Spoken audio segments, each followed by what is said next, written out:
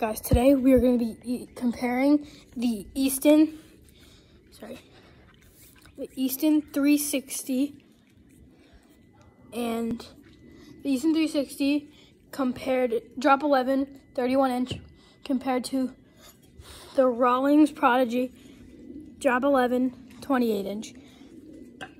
And today we'll be using his official game ball. So yeah, three swings each with the, with the um, Easton 360 and the Rawlings Prodigy. I will start with the Easton 360 and let's see how it is. Easton 360, let's hit this thing.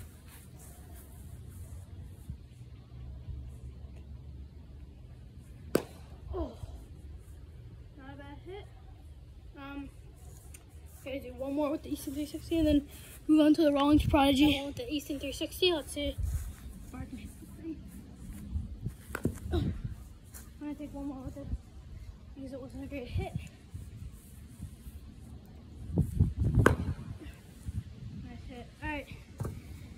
We're gonna move on to the Rawlings Prodigy. Drop 11, 28 inch. I think I first hit with the Rawlings Prodigy.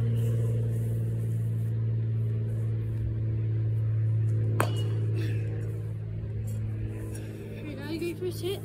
We still got another one and hopefully we can make it last better. hit with the Rawlings Prodigy before I rate them. So what's gonna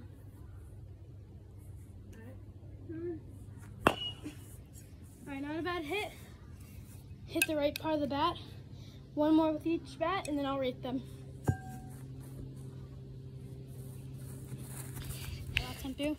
I am going to hit the Easton 360 one more time and then the Rawlings Prodigy one more time.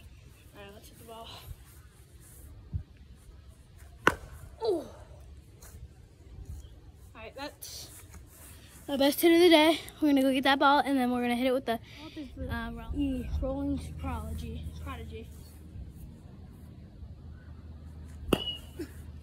Not a bad hit, but not as good as the Easton 360. 360.